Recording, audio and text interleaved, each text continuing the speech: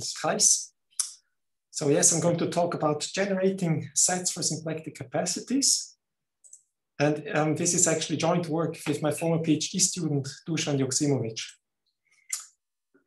Um, so first I'm going to start with a question which will look unrelated to symplectic geometry. Um, then I'm going to um, see, I understand that this is a colloquium. So uh, I will give you some idea of what symplectic geometry is and explain what the symplectic manifold is. Uh, of course, I will explain what the symplectic capacity is. So that's the next step here. By the way, can everybody see my slide? If not, then please tell me. Um, and then I'm going to talk about the main question which I'm addressing in this joint work with uh, Dusan, namely, um, you know, what can you say about sets of capacities which generate all the others? And then there are going to be three more topics, so don't be scared. I, am going to say only a few things about the last three topics. So let's start with a question. Here it is. Um, namely, does there exist a positive real number x so that for every algebraic real number a not equal to zero, the power x to the a is not algebraic? Um, maybe you wouldn't have expected this from me, and you wonder what this has to do with symplectic geometry, and the answer is nothing. However, um, the proof of, you know, the answer to this question is going to be related to the proof of the main result I'm talking about today. And uh, you may also wonder how difficult this question is. Um, at some point, I suggested to have this as a math Olympiad question. So you can do it now and tell me your answer in a few minutes or so. Uh, the proof I'm going to present is five lines or so. Now, let's start with actual symplectic geometry. So what's symplectic geometry? So the short answer is symplectic geometry is the study of symplectic manifolds and maps between symplectic manifolds which preserve the symplectic structures. So I should explain to you what a symplectic manifold is. So let's do that. So symplectic manifold is a manifold together with a symplectic form. So that means I should also maybe start by explaining what a manifold is. Um, so the short answer to that is a manifold is space which locally looks like coordinate space. So in one dimension, it would look like a line, in two, like a plane, and in three, like the usual space we live in, and so on. Um, and then a symplectic form is a closed and non-degenerate two form on a manifold. So I should review what the two form is. And I will also give you a picture of a symplectic form. This is how a symplectic form looks like. So a two form is a collection of uh, bilinear maps, one for each point in your manifold. So the point is called x, and the bilinear map is a bilinear map from the tangent space to the manifold times itself to uh, the, the real numbers. And this map should be uh, skew symmetric. So it, when you intertwine the two vectors, it, you should get a minus sign. Such a thing is called a differential two form. And now I should tell you what closeness means. So for that, I write my two form as a sum like this, where you know xi or x1 up to x n, let's say, are the coordinates. I, I, choose local coordinates on my manifold. And then dxi is the differential or derivative of that coordinate function. So uh, yeah, uh, in some courses, this is also called the total derivative. okay, so I have, um, here I have, see when I take the total derivative, I get a one form, which means I can plug in a vector at each point and I get a number. And then I should explain to you very briefly what the wedge product here does. So if you take two one forms, then this is a formula for what the wedge product does. Um, if you have three of them, then there's a similar formula. Now, if I write my two form like this, where omega ij are functions on the manifold, so locally, they're only defined locally, then I can express the exterior derivative d omega like this. Basically, it's defined by the Leibniz rule um, involving some wedge products here. And I want this to be zero, this exterior product. So that's what closeness means. Please ask questions if you have questions. So that explains the closeness part here. And now I should tell you what non-degeneracy means. Um, for this, uh, I take any vector v in my in a tangent space at some point x. And then non-degeneracy means that if the form vanishes when I plug in this vector and any other vector which is tangent to my manifold, then the vector v should be zero. So in some sense, this means maximally non-degenerate or maximally interesting, maximally non-trivial. Um, so the standard example is R to N with the standard symplectic form given by this sum of wedge products, where I label the standard coordinates in R to N by Q1, P1. The reason for this is that if you label them like this, then you have a simple formula for this standard symplectic form. And one result which you learn in the elementary course on symplectic geometry is that locally every symplectic manifold looks like this, like this standard symplectic manifold. Um, a more interesting example is the two sphere with this form here. Here I take the dot product or interior, pro, uh, sorry, the inner product, the standard inner product on R3. And here I take the cross product. So in this picture, that will be the example in this picture. Here you have S2 and you have a symplectic formulate. Um, then there's a, a very important example which comes up in physics, in classical mechanics, namely the canonical symplectic form on the cotangent bundle of any manifold. It carries a canonical symplectic, so this cotangent bundle carries a canonical symplectic structure or form. And of course, um, there's a relation to uh, algebraic geometry, namely through Kähler manifolds. So a Kähler manifold is a symplectic manifold together with a complex structure which is compatible with the symplectic form in a certain way. And an example of such a manifold is CPN, the complex projective space. Now, um, as I alluded to, symplectic geometry has to do with classical mechanics, namely it comes from classical mechanics. Uh, in classical mechanics, the motion of a mechanical system can be described by Hamilton's equation. And this equation involves the canonical symplectic form on the cotangent bundle of configuration space. So the base is configuration space. That's the space of all um, generalized positions of your system. And the cotangent bundle plays the role of phase space, which consists of configuration space and also it also contains the generalized momenta. Now, um, you know, symplectic geometry is a bit analogous to Riemannian geometry. So a Riemannian manifold is a manifold together with uh, an inner product on each tangent space. Now, uh, an inner product is in particular symmetric and symplectic forms are skew symmetric. And so this is an analogy and, um, you know, the closeness condition for symplectic form can be or would be analogous to the flat, to flatness of the Riemannian metric. And then in fact, uh, flat Riemannian manifolds of a fixed dimension also all, all look the same locally. So you have a similar result like for uh, symplectic forms, which all look locally like this standard form. So there is some similarity. However, um, Riemannian geometry really is really different. It differs a lot from symplectic geometry. For example, you can look at the group of structure preserving diffeomorphisms. So if you do this in the symplectic world, then if you do it in the Riemannian world, then the structure preserving diffeomorphisms are isometries. And the group of isometries is finite dimensional. It's a, in a canonical way, a finite dimensional Lie group. Um, if you have a closed manifold, so compact without boundary, then this Lie group is compact.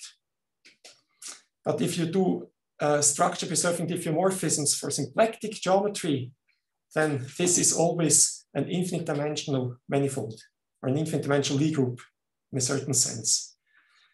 Uh, except if you have a trivial case, when, when you take uh, a zero dimensional symplectic manifold, then it's not.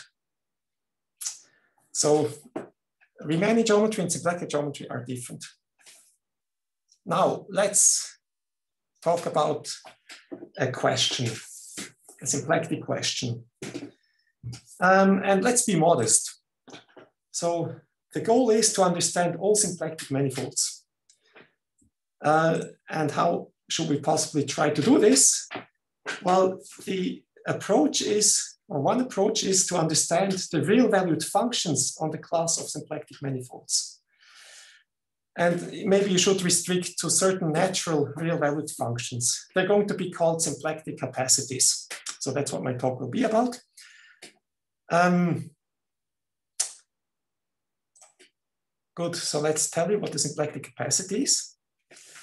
So I denote by SIB n the symplectic manifolds of, or the set, no, it's not a set, the class of symplectic manifolds of dimension 2n. Then a generalized symplectic capacity is a map from simp n to zero infinity. So it takes on positive real values or zero or infinity. And it's monotone and conformal. So monotonicity means that whenever you have a symplectic embedding of one symplectic manifold into another one, then the capacity of the first one is at most that one of the second one. A symplectic embedding is a smooth embedding which pulls back the second form to the first form it intertwines the two symplectic forms. And then there's a second condition, namely conformality, which says that when you multiply your symplectic form by a positive constant, then the capacity should rescale by the same constant. Okay, so that's what a capacity is. Um, here's an example. So whenever you have any symplectic manifold and omega, you can define a capacity by this formula here. So it measures how big a copy of your symplectic manifold um, of, the, of the fixed symplectic manifold M omega embeds into your given symplectic manifold. Uh, I will use this example later. Now, um, yeah, there's a certain procedure how to produce new capacities once you have some capacities.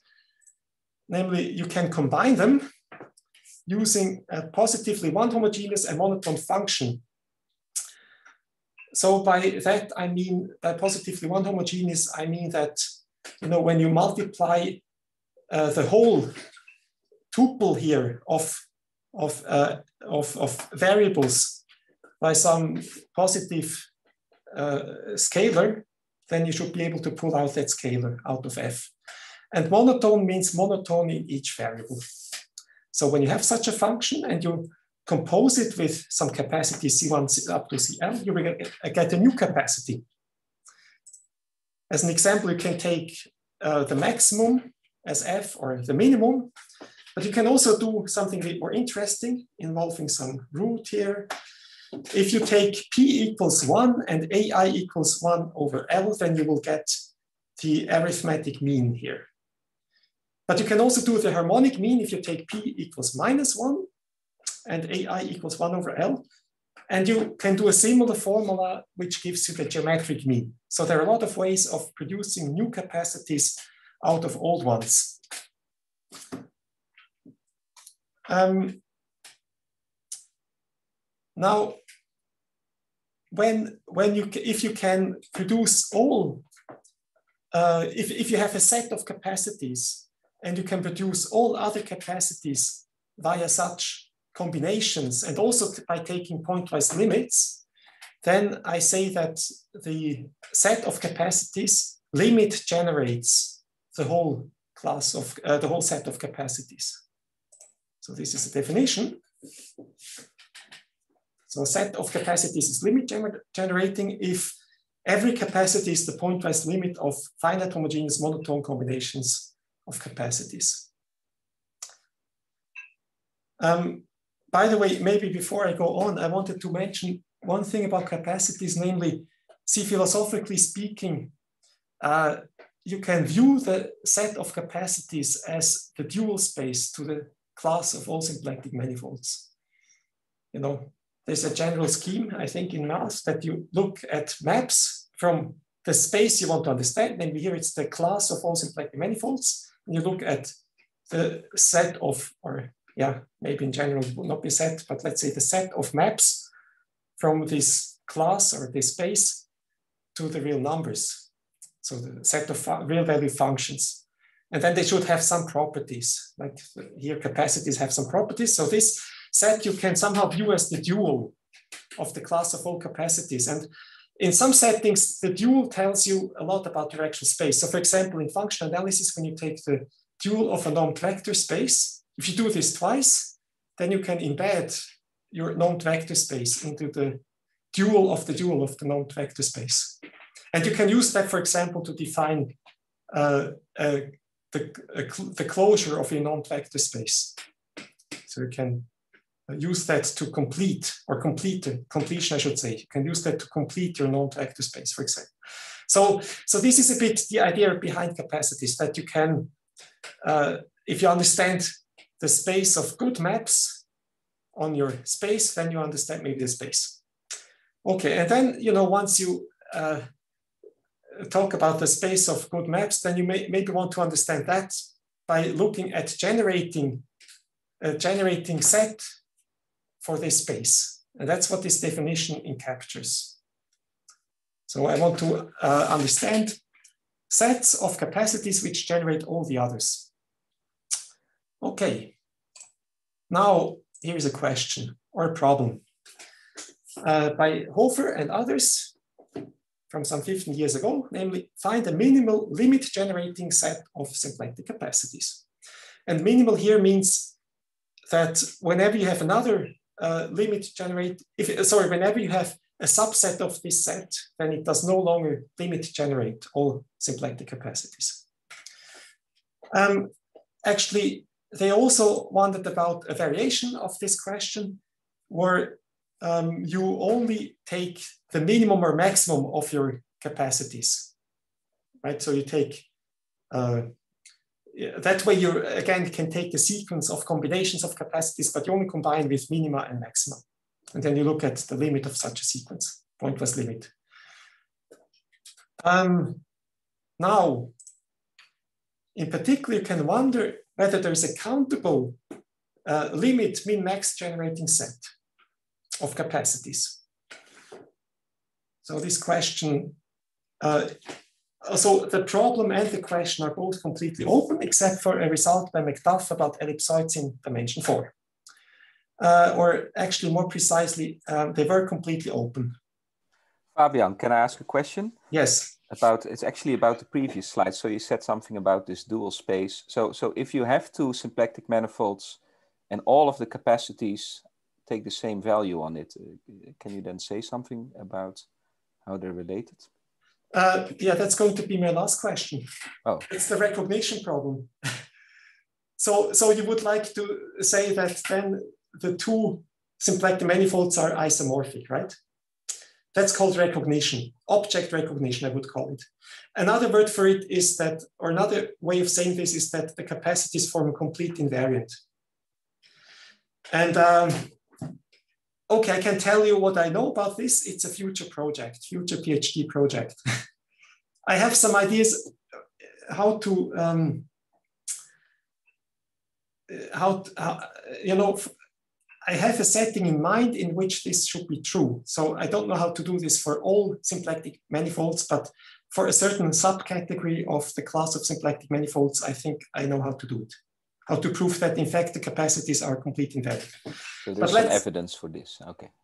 Uh, yeah, I also have a method, but let, us maybe not jump too much ahead. But this is not a finished project in any case.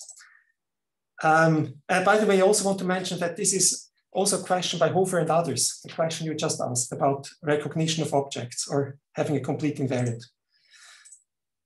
Um, now, let's come back to the problem I'm looking at here, namely whether uh, there is a countable limit min-max generating set. So in the sense that you only take minima and maxima of capacities and then you take uh, the pointwise limit of such combinations. So it's the countable set which generates all the others in this way. And as I said, the problem was completely open. Now uh, you have some time to guess the answer since it's no longer open. So it's either yes or no. So it's, is there such a countable set, generating set? And the answer is no. In fact, uh, it's much worse. So, you know, every limit min-max generating set has cardinality even larger than the real numbers. Just, so not just uncountable, but larger than real numbers. And this is true for a weak notion of generating. We don't need limit min-max generating. Um, so this was the main result, one of the two main results of the PhD thesis of my former PhD student Dusan Joksimovic. And we wrote an article about this, which we uh, submitted. So here is this main result. Actually, it's a corollary to the main result. So it says that every countably Borel generating set of symplectic capacities has cardinality strictly bigger than the real numbers. By the way, this cardinality is called bet one. For some time, I thought it was called aleph one, but it's not. It's called bet. This is the second letter in the, in the Hebrew alpha, alphabet, and this is the reason why you learn it, or the, the occasion to learn it, let's say. And this is true if uh, we are in dimension at least four, so n is at least two. Now I should explain what countably Borel generating means.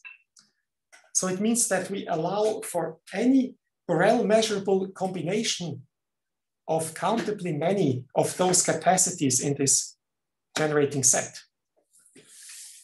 Uh, so, okay, I should remind you what a Borel measurable function is. So when you have two topological spaces, then, or actually if you have just one topological space, the Borel sigma algebra is the smallest sigma algebra containing the topology.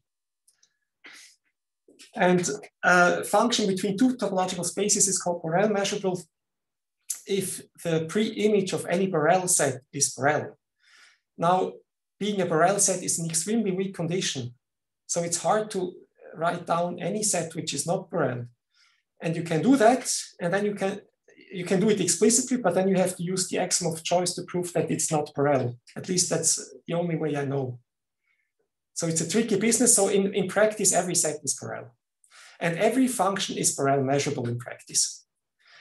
Um, in particular, I mean, what is literally literally true is that every continuous function is Borel measurable, but also the maximum and minimum. Actually, uh, pointwise limits of Borel, Borel measurable functions are again Borel measurable. So that's what we allow here. So we allow combining functions which are Borel measurable.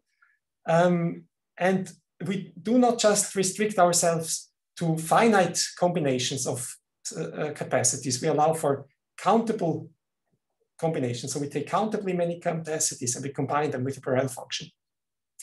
And then we get, we don't necessarily get a new capacity, but we don't care. We just care that every capacity is uh, given by such an expression.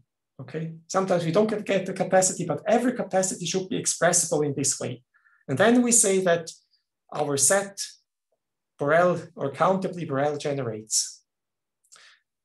Um, so this is a, a weaker notion than the notions we had before. So the, the limit min-max generating uh, notion is stronger. Okay, so that means that uh, our result in particular says that every limit min-max generating set of symplectic capacities has cardinality strictly bigger than the, than the real numbers. So it answers this question here. Um, but it's also, you know, this Borel generating notion is also weaker than the notion uh, of limit generating where you allow for any finite combination, um, which, you know, now we assume to be Borel. So if you, if you add this word Borel, then actually that's also, the, you know, this, this contour Borel generating or generation is a weaker notion than the thing about limit generation, if you add Borel there. Okay, um, any questions? I wanted to add something. So what's the something I wanted to add? Yeah, so what I wanted to say is, you know, this result here diminishes the hope of finding a manageable generating system of capacities. So this big goal of understanding the dual space of the class of all symplectic manifolds was maybe a bit too big. Okay. Um, now, let me talk about the proof of this result. So it follows from what is the main result of the PhD thesis, or one of the two main results of the PhD thesis of Dusan Joksimovic. So uh, it has two parts. The first part says that the set of all capacities has cardinality bet 2. So that's the cardinality of the power set of the real numbers, if you have at least dimension 4. And the second part says whenever you have a set of functions which take values in this uh, interval 0 infinity, and the set has cardinality at most bet 1, then the set it countably Borel generates has also cardinality at most bet 1. And this is a very general result. Uh, as you can see, it has nothing to do with symplectic geometry. And it's actually elementary to prove. So what you use here is the fact that when you have a separable topological space, then the Borel sigma algebra has cardinality at most bet one. And that you prove by using transfinite induction. So the second part is, is elementary. And the first part um, is the interesting part. So let me talk, uh, before I talk about that, how to prove that, I want to also, um, you know, maybe point out that how to, how to get the corollary. Well, okay, say, say we have a set which countably Borel generates all symplectic capacities. Um, well, this set, see here in, in my theorem, I'm going to take S to be the class of all symplectic manifolds. And that's not really a set, but you know, never mind. I can instead look at the set of isomorphism classes of symplectic manifolds, and it also works. But morally speaking, I take the class of all symplectic manifolds, and then, uh, you know, the subset I'm looking at here is my given set of capacities, which supposedly generates. But if it has cardinality less than bet one, then it uh, does not generate my whole set of capacities because that has, capac has, has a cardinality bet two and they only generate something of cardinality at most bet one, right? So I don't gener generate everything. I need to have cardinality for this subset. I need to have cardinality strictly bigger than bet one. Um, good. So um, now, so actually, maybe I should point out one more thing. See, morally speaking, this means that I need as many capacities to generate all capacities as there are capacities, namely by two. Uh, and what does morally mean? Morally means this statement is compatible or consistent with Zermelo-Fraenkel choice. And uh, I don't want to go into details here. Okay. So, so we don't gain anything by this notion of generation. We need as many uh, capacities as the thing we want to generate, morally speaking. Now, let's talk about the proof of this statement that the set of capacities has cardinality bet 2. There's some geometry going on, so that's uh, something I want to explain. Um, so the idea of proof, well, we want to show that you know the set of capacities has at least this cardinality. The other uh, inequality is easy to prove, but this one is interesting one. So for this, I will write down some set of capacities of cardinality bet 2. So here it is, namely for each subset A of the interval 0, 1, I define a capacity, CA, by this formula here. So remember, this was the embedding capacity we had before. It measures how big a copy of my symplectic manifold MA embeds into the given symplectic manifold. And the manifold MA is this thing here, a shell. So I take a, a, a closed ball in R to N, and I take the complement with a smaller open ball. And the smaller open ball has radius one. And this shell has a width, which is the difference of the two radii. I call it A. Okay, then I get some symplectic manifold. It comes with the standard symplectic form on R to N. And then I do the supremum uh, of all these embedding capacities where I, I, I, you know, this index A or the uh, variable A ranges over all elements of my given set A, my parameter set. I, I get a capacity. And now I claim that when you take two different subsets of 0, 1, you will get two different capacities. And if that is true, then we have beth one, beth two capacities, right? Because you know the map taking uh, such a subset of zero one and mapping it to the corresponding capacity CA, this map is then injective. So the number of capacities of this form is at least the cardinality of this uh, power set of the interval zero one, and that's beth 2. Now, the question is, why is this true? And actually, this is not literally true. We have to modify this construction by taking this the disjoint union of two shells, but let's not worry about that. Okay, so let me explain the idea why this should be true here. Why different A's give rise to different capacities. So here is a picture for this. So um, what we do is, so before the picture, I should maybe say what we do. Um, see, if you have two subsets, parameter sets A and B, which are not equal, then one contains a number which the other one doesn't. And let's say A contains a number A not, which is not contained in B. Then I look at the corresponding shell, this blue shell here. And I look at its capacity with respect to this A and with respect to the B, right? And I want to get two different numbers. That's what's going to happen. And why is that? See, if I take CA of this blue shell, then I get something at least one, which is at least one because I have this embedding capacity here with A equals A naught. And that gives me one. But if I do the red, if I, well, I shouldn't say red, if I do uh, CB for this capital B of this shell here, then I claim I always, I get something which is less than one. And why is that? Because see, if I take a, a parameter B in capital B, let's say B is bigger than A naught, then this embedding capacity here tells me how big a shell of width B I can embed into the shell of width A naught.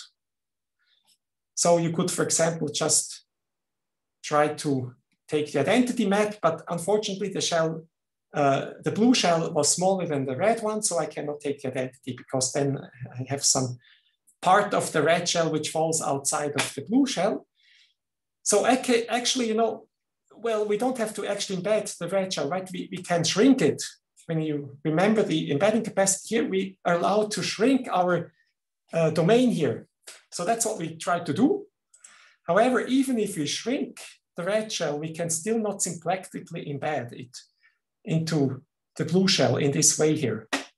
And the reason for this is called helicity, which I don't want to go into details but about, but uh, you know, helicity takes an exact two form on an oriented uh, 2n minus 1 dimensional manifold and it gives you a real number. And the manifold should be closed without boundary. For example, you know, you can take an exact two form in S3 or any three-dimensional manifold or a five-dimensional manifold and should be oriented. And also uh, this, the, the dimension of that manifold should at least be three, otherwise it doesn't work. So there's a natural way of getting a, a real number out of a two, an exact two form in such a manifold. And uh, then there is Stokes' theorem for helicity. And Stokes' theorem tells me that this symplectic embedding here cannot happen this way. Okay, but maybe I can embed the red shell, shell in a different way into my blue shell. And yes, you can, namely like this. Here, uh, you know, this inner boundary of the red shell does not wrap around the inner boundary of the blue shell. That's the difference.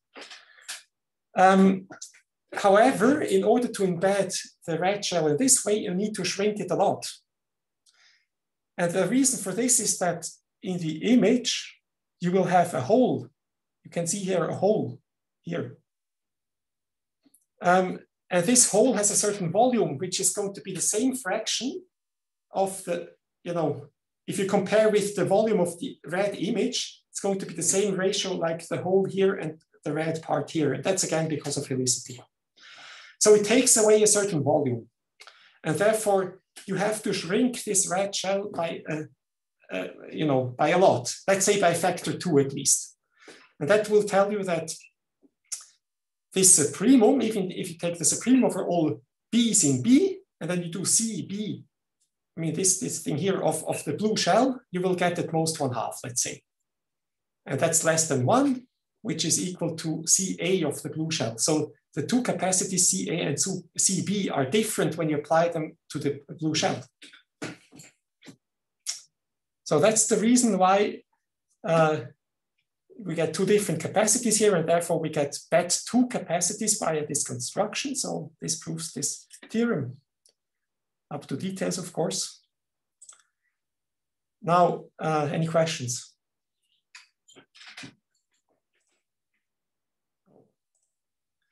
So let's summarize. So the, the problem by Hofer and others was to find a minimal limit mean max generating set of symplectic capacities. And uh, together with Dusan Joksimovic, I proved that you know every countably Borel generating set of symplectic capacities has cardinality bigger than that one, which is the cardinality of the real numbers.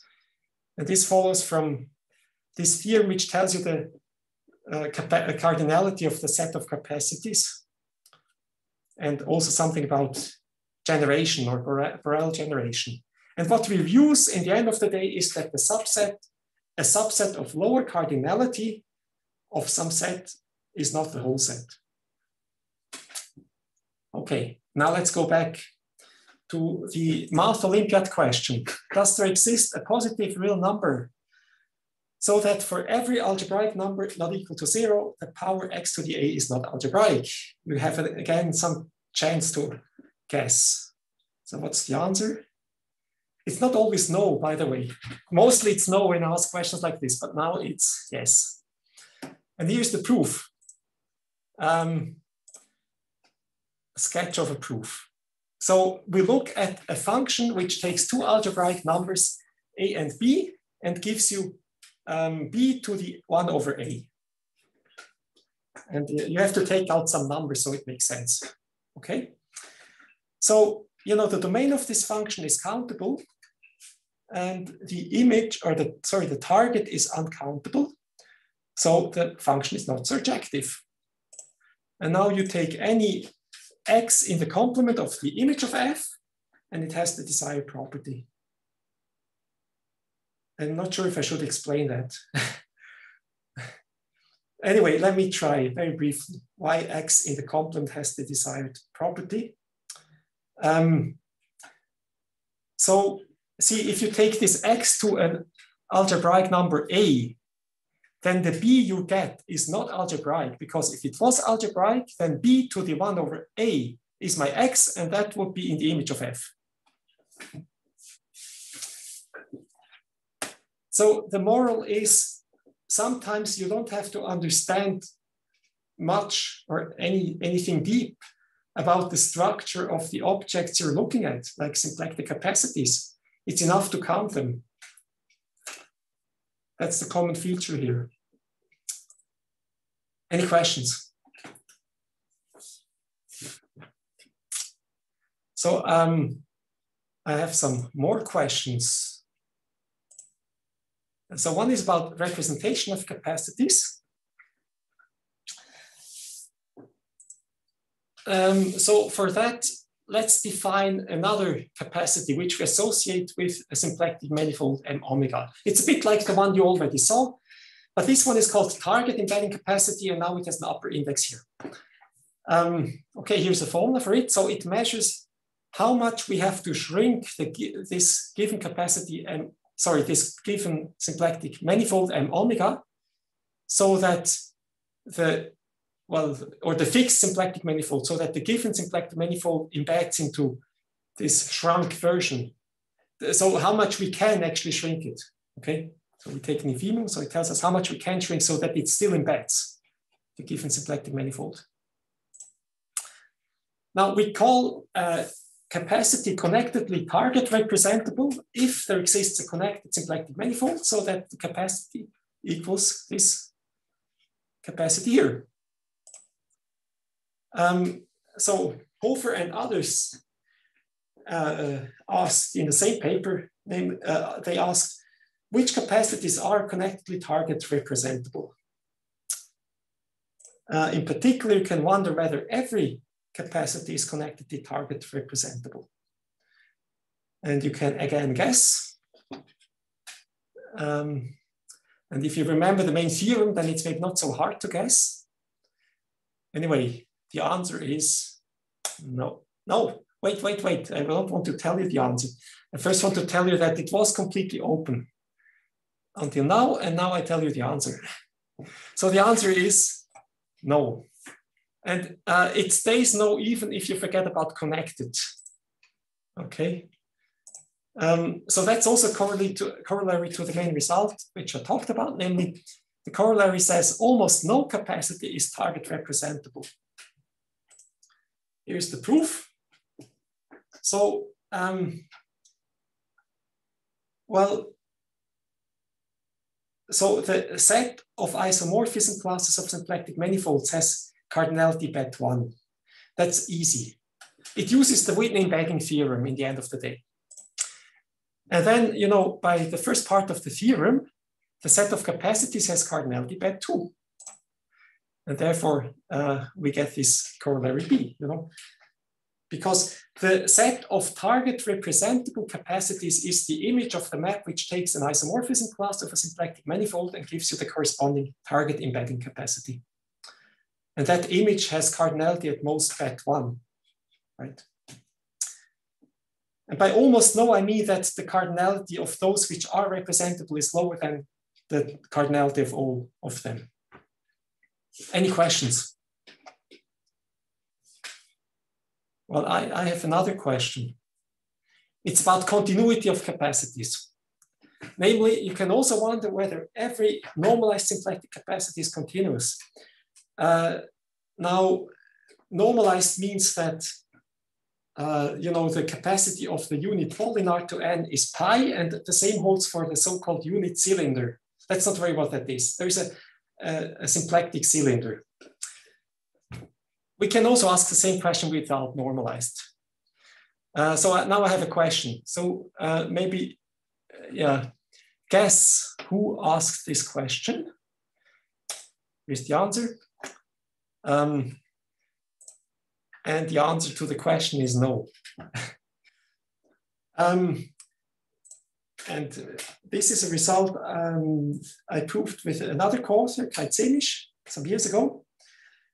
Namely, you know, this follows from the fact that the spherical capacity in dimension at least four is discontinuous. Oh, by the way, I should, I don't know if I want to tell you what continuity means. Let's make it short. See, let's say we have a so we, we look at the compact manifold with boundary, let's say. And then continuity means continuity with respect to the C infinity topology. So the, the set of capacities, you know, is a subset of all forms, of all two forms. There's a C infinity topology on that, and that's what we mean. And if you do this with the so-called spherical capacity, then it happens to be discontinuous. Uh, this spherical capacity measures how big a sphere uh, S to n minus one embeds into a symplectic manifold in a pre-symplectic way, which means that the symplectic form is pulled back to a certain pre-symplectic form of the sphere, which is the pullback of the standard symplectic form on R to n to the sphere. It's a two form still. It's no longer symplectic, but it's still a two form. And you want to obtain that when you via your embedding. Okay, so it's a bit similar to the domain embedding capacity I talked about, but we do a bit a different thing. Uh, actually, you can also do a similar thing with shells. So, you know, the shell capacity I showed you before, this CMA is also discontinuous. Uh, the proof of this is based on helicity, and that's why I mention it here. So it, it's based on the same method uh, as the proof of the main result I talked about. Um, and actually this result has been extended to a Leque setting by Fidali and others recently. Okay, so that's basically all I wanted to say, except that I wanted to uh, come back to the question by Alvaro, namely, do the symplectic capacities recognize objects? So that means if you have two symplectic manifolds, which have the same capacities, are the symplectic manifolds isomorphic? So is there a diffeomorphism which intertwines the two symplectic forms? And uh, this is again widely open. And uh, I have some ideas how to prove that it's true in a certain setting. As I mentioned, um, you know, you can look at subcat or subcategories of the category of all symplectic manifolds. Uh, the morphisms are the embeddings, symplectic embeddings. You can actually also allow for less morphisms. Sometimes people do this. Then you can look at such a subcategory. And you can look at capacities on the subcategory of the whole category of all symplectic manifolds. And then if you take the right subcategory, then I think I know how to prove that capacities do recognize objects. So that means that we have a complete invariant. Um, and the idea here is again helicity. Good. So that's all I wanted to say.